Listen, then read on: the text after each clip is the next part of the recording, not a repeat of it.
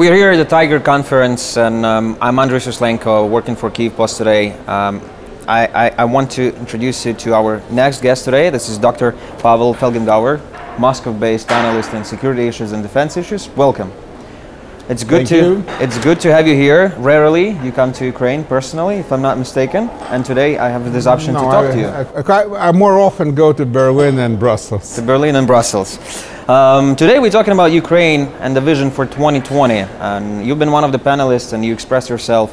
and you had a conversation with your fellow panelists over there. I want to conclude things that you heard and you've said on the panel. So could you could you try and elaborate key security issues that are going to be on the table until 2020 for Ukraine?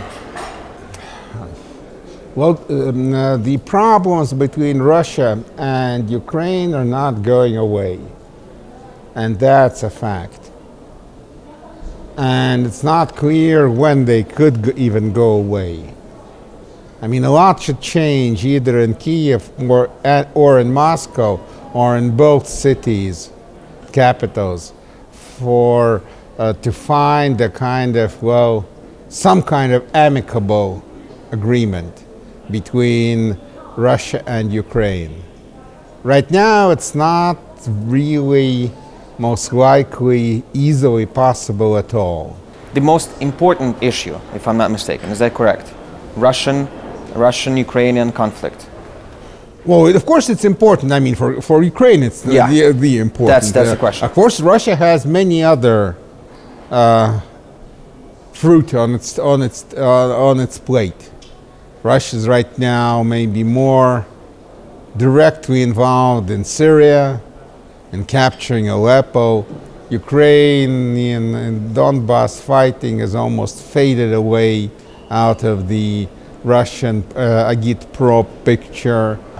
So there's a possibility of a renewed um, uh, Azeri-Armenian military confrontation in Karabakh. Because actually, if you see the Russian military Interfax, that's a subdivision of Interfax, each day there are reports of ceasefire violations in Donbass from both sides Right. and in Karabakh from both sides. I mean, that's a more or less forgotten war.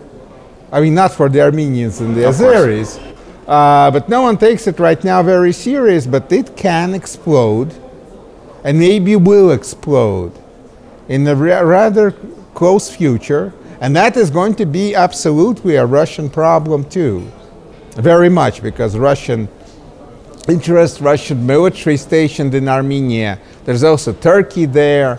I mean, uh, uh, and so I mean, it's not only for Russia has other issues.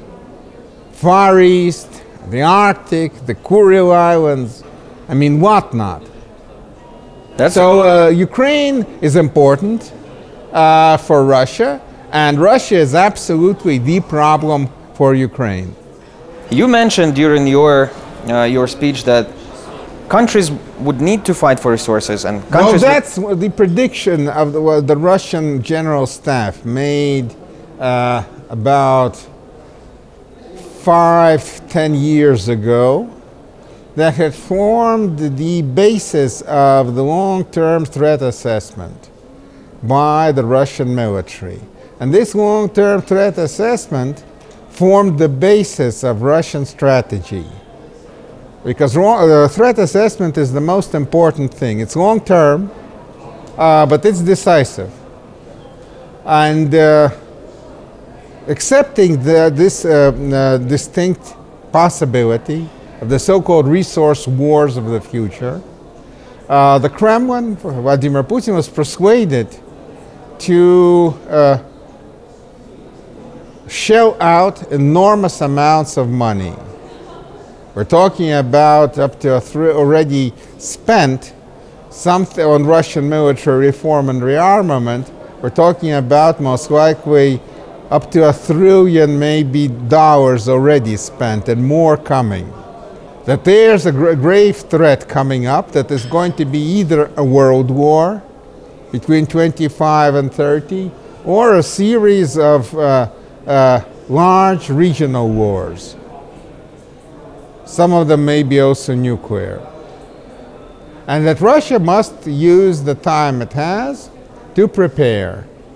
and the ambitious rearmament program was initiated against the very strong advice of then all powerful finance minister and deputy prime minister Alexei Kudrin, who said that this is a wrong strategy, that we don't have the money, that now we have seem to have the money. When the price of oil was high, this program was adopted. But he said the price of oil will fall and we will be left on the rocks when uh, uh, we expanded our defense industrial base, hired new men, trained them, expanded the, uh, the factories, bought new equipment, then we move into the period of mass production and uh, procurement, which more or less should happen right now. And we don't, and the, uh, the price of oil fell and we don't have the money. And this will put us in a very awkward situation because that would mean losing a lot of money just to simply try to terminate uh, and cut. It just can't easily cut, I mean, uh, production because that means your industrial plants that were built and workforce are idle, the factories go into bankruptcy. It's going to be an enormous loss. How many years do you think are needed for these wars to appear in your prediction? Well, the idea, as I say, as the general uh, chief of general staff expressed yeah. it in a public lecture, it was in February 13, mm-hmm uh, two weeks after the approval of the uh, most important uh, present Russian military strategic document, the defense plan of Russian Federation, Plan обороны Российской Федерации. Mm-hmm. And this became the uh, official policy of the Russian Federation approved by an important documents. To change it, it's, it's not easy to change. You have to go through the um, meticulous process of uh, interdepartmental consensus building to make a very important strategic change. So you change the strategic assessment. And of course, there are forces in Moscow that do it, their, will do their best to prevent that. I would argue that those uh, who are trying to change the assessment are uh, American spies and agents of foreign influence who want to leave Russia defenseless when the enemy attacks us. But Dr. Felgenhauer, you still predict that the assessment, the strategy will not be changed and it will conclude in those wars or conflicts? Well, as I say, right now, um, uh, they should uh, approve the new uh, rearmament program, the next one. Yeah. To up 25. The, the finance ministry says that we don't have the money. Defense ministry, defense minister yelled on the finance minister. This is a real conflict uh, on a huge sum of money and on the political future, including the political future of Mr. Uh, Sergei Shoigu, who maybe has his own political uh, ambitions. Uh, ambitions. He's not a civil servant, and as most other Russian ministers are, He's a politician. He's in politics since 91 and maybe has ambitions to become successor to Putin. At least he's, he is rather popular in Russia and uh, does not want to lose that image. Uh, um, a severe slashing of the defense budget, and Kudrin says it has to be done, or we go bankrupt. Uh, defense ministry is going to fight that. And offer for slashing all other parts of the budget if possible, but not theirs. And Putin is, is the arbiter. You have to make some kind of decision. Judging. Now it's being pushed over on to down the road till uh, July. But to July, there's going to be a lot of infighting in Moscow, which will affect Russian foreign policy and internal policy and infrastructure building and lots, whatnot. That means for the General Staff, Defense Ministry, Defense Industry, uh, the so-called Siloviki, mm-hmm. they would not want, say, a detente with America. Because the, the, if the threat decreases, that means, well, you have to, you can, then you can cut the defense spending. That's not a really good option. So uh, conflict will most likely continue, and uh, I don't think that it will. They will work. Uh, something will really permanently work out between uh, Mo- Moscow and Washington under Trump. You mentioned President-elect Trump, and um, how do you how do you think Europe should, in security measures, should react to unpredictability of Mr. Trump? Well, right now, most likely, uh, everyone is going to be just wait and see to figure out what comes out, who becomes actually the, uh, the defense minister, who becomes secretary of state, what kind of foreign policy will be pursued. Uh, not much in, uh, Europe can do to influence the American decision-making process. At But they present. can they can unite themselves in a new coalition or new program, something that is different from NATO, but still have the values of the European Union and and the, you know to defend to defend itself. Uh, technologically, that's right now not very possible. There's a lot of opposition to that. Uh, say Britain, uh, the, most likely the strongest military power, or equal with France, or maybe even stronger as military power. In Europe, uh, doesn't believe in any kind of European defense, and they're of course leaving the European Union, and don't want a kind of European defen- joint defense as an alternative to NATO. Then France, there's going to be a presidential election, which most likely will bring to power a pro-Russian nationalist All right. of some kind of sort. Either one Maybe Mr. Fillon, yes. And that's actually what Russia wants. It wants to uh, weaken transatlantic links. That's traditional Russian policy. Uh, kind of Finlandize Europe. And if Europe wants to talk about uh, separate uh, defense, well, let it. If, uh, as long as this weakens transatlantic connection, that works for Moscow. Well, that depends, of course, because I mean Europe is a has a democratic system, and uh, in the last resort, it's what the people believe in. Uh, not all many Europeans really believe that Russia is an immediate threat, at least not those who don't border Russia. Uh, if uh, the Russian perceived threat will be, if Russian threat will be perceived as more serious, maybe there'll be some more support for more spending, or maybe not. Let's go for Kaliningrad. Recently, and you know that for sure, we've talked about that on, on, on the conference itself, on your panel. Uh, Russians moved uh, moved more more of missiles, different types of missiles, into Kaliningrad. What does it mean? What kind of threat now is possessed to Europe? Uh, well, there was a mm, rearmament. Uh, the, there's a missile brigade, missile rocket brigade in Kaliningrad and Chernyakhovsk, uh, 152, which was previously armed with uh, Tochka U ballistic missiles. And now these Tochka U ballistic missiles are replaced by new Iskander missiles, which are more or less the same in all their ca- capabilities, but have a much bigger range. Uh, uh, officially uh, 500 kilometers, I believe a bit, even a bit more as ballistic uh, version, and uh, obviously much more because uh, in uh, cruise missile version, because Iskander, the same launchers, more or less the same launchers, can also launch cruise missiles. Can they possess atomic or nuclear power? Well, uh, both uh, uh, Tochka and uh, Iskander are nuclear capable, of course. Uh, so this was a kind of planned replacement because Tochka U is phased out; it's not produced anymore, okay. and it's replaced by Iskander in different parts of Russia Not in the Far East, in uh, in uh, Novosibirsk, I don't know, in all over the the, uh, the entire military is being replaced. Of course, in both most places these are army brigades, but in Kaliningrad it's a special situation. Uh, it's uh, these um, uh, missile brigade and other brig- army brigades in Kaliningrad are considered um, uh, navy.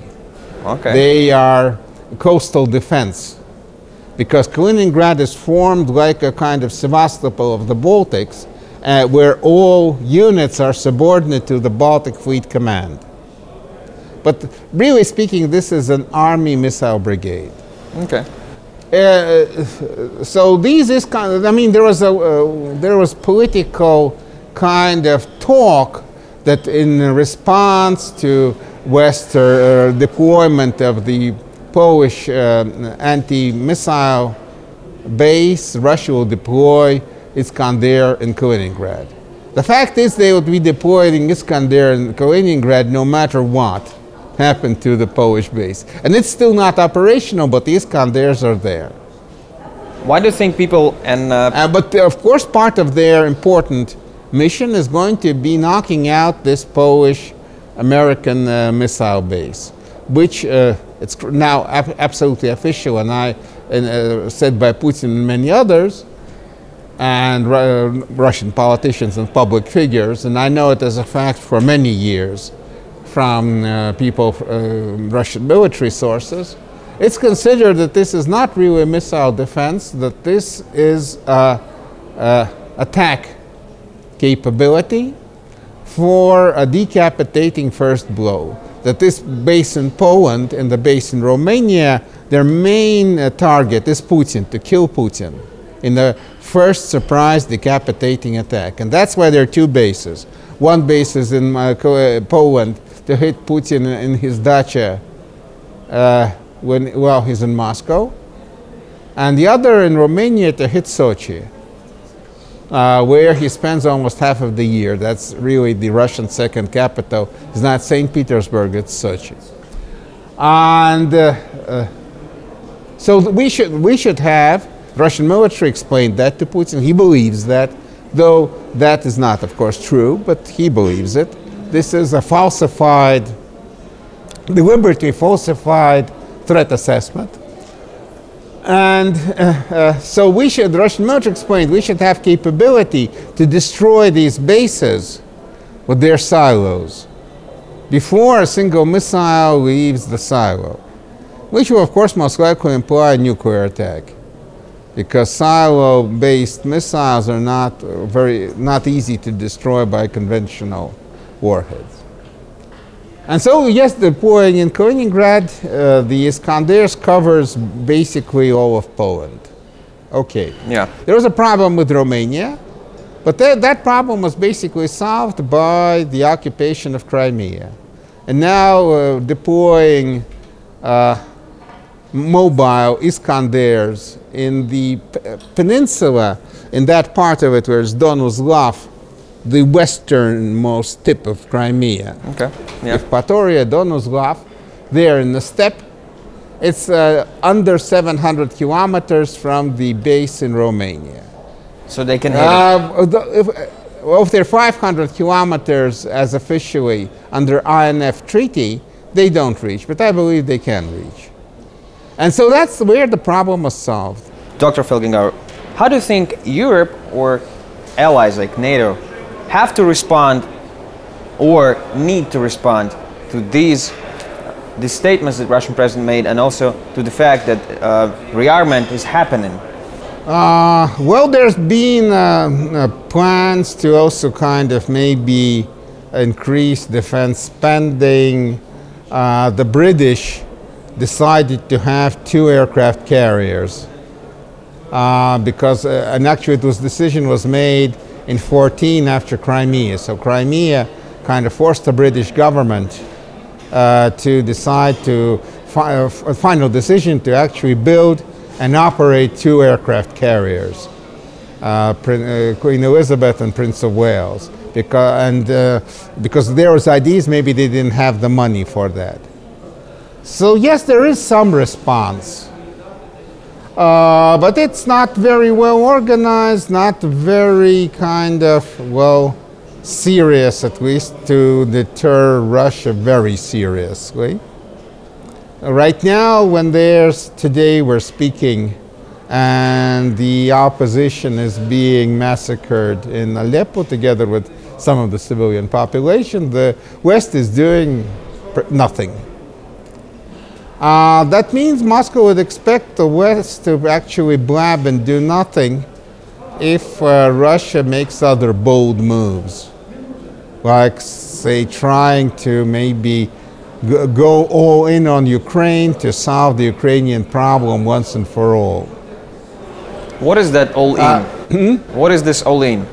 Well, all in it's a mm, large regional war, which is a possibility. It's not a probability, it's a possibility. But the preparations for such a possibility are being made. The infrastructure of the theater of possible wars being prepared. And uh, that means uh, that may be somewhere down the road in the future. It sounds troubling, of course, that Uh, So uh, the, the, we'll, uh, right now the West is uh, disunited and disorganized, and this is going to most likely add arguments to the more to the military part of the Russian establishment, who, on, because of their own internal agenda, do not want a real détente. Do not. I mean, uh, there'll be talks with Trump, the new Trump administration. And there'll be talk that we want a deal, but we're going to shift the conditions so that in the end it will be rejected. Uh, with Europe, it's a different story. Keeping America as a potential enemy, but uh, Finlandizing uh, France and maybe other European nations and forming an alliance kind of with them, that's an old idea that's going to, uh, that would go easily be taken. Uh, though again, I don't, I'm not sure that it's going to work out. The mm, actually, what the West should really do is to recognize that right now, if there's no changes in the Russian strategy and establishment as it is right now in Moscow, having a deal with Russia is impossible. But that doesn't mean we have to fight. That means we have to work in the understanding of so called peaceful coexistence, avoid major confrontations, and uh, wait and see what happens.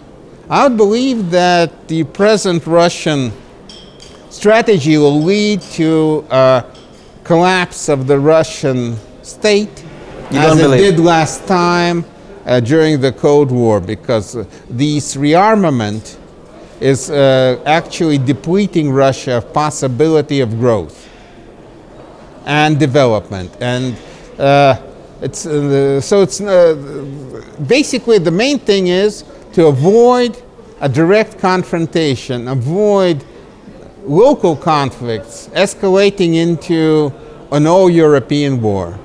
So then, in the end, Russia is the only country that is ready to use the weapons. Well, everyone uses weapons. I mean, uh, uh, talk in a about the global use way. of nuclear weapons. Well, I'm not so sure that th- this is more political kind. This is called brinkmanship. Okay. Uh, that's a term that was invented by uh, John Foster Dulles in the 50s. It's uh, balancing on the brink of nuclear war. In Russian, it's actually called балансировать на грани ядерной войны. The idea is that nuclear war is so unacceptable that if you threaten the opponent that you're ready to go in and uh, all, all in with nuclear weapons, he'll make concessions.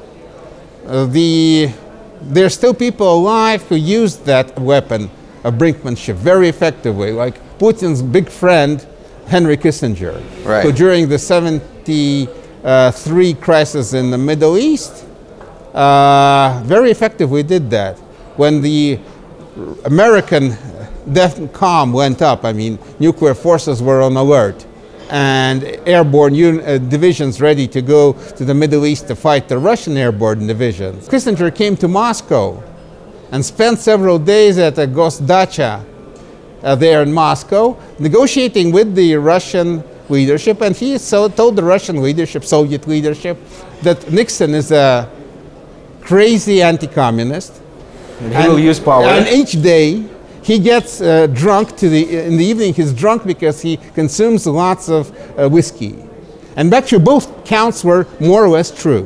And he said, "The guy will press the button. We won't be able to stop him. You should make concessions." And the Russian did, and lost a lot of. Uh, uh, prestige and positions in the Middle East as a, as a result. So now we're trying to play the brinkmanship game. I hear you. Because during the Cold War, Soviet Union had more conventional forces, uh, and, and the, United, uh, the United States used nuclear threats. Now it's considered that the West is much bigger economically and basically militarily. So now we're using the nuclear threat. But I don't believe that the Russian military, I mean the Russian general staff, are actually, really preparing for a nuclear war. I mean, in earnest. They're talking about it, But not prepared. hopefully. I mean, hopefully, of course. Thank you very much for your time, Dr. Felgengauer. I hope to see you again in Kiev any other time. Thank you.